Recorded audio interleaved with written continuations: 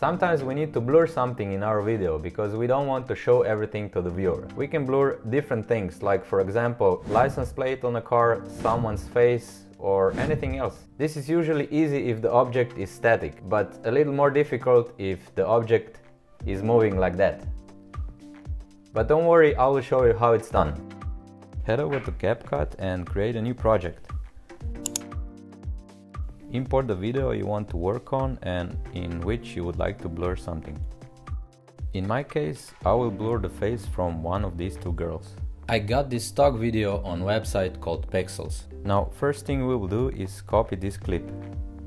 Highlight the clip and scroll to the right on your main timeline till you see the copy icon and click on it. With this second clip highlighted, find overlay icon. Click on it and the clip will drop down. This will be our overlay clip. Now we need to drag the clip to the beginning so they are perfectly matched and then we will apply effect. Click on effect icon and then video effects. This is now library of the video effects. Let's go on lens tab and find effect called blur. Click on this effect and click it once more to adjust it. I will drag it to the maximum. What we need to do is stretch the effect to the whole length of the clip. But we still don't see our blur effect on the clip. We need to click this object icon and apply effect on our overlay clip.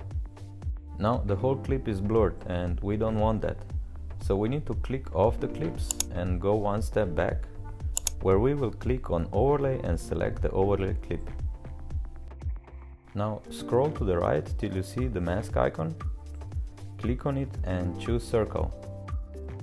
To cover the face of the girl we need to resize the circle and you can also pull those arrows down so you smooth the edges.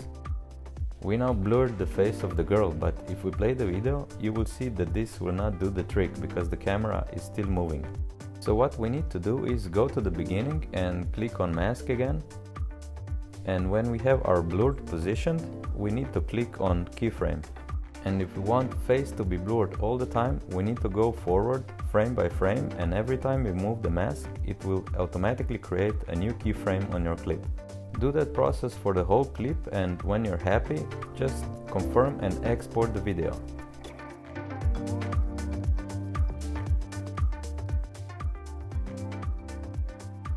So this is actually how you can blur objects in your video. Let's play it now from the beginning to see how it turned out.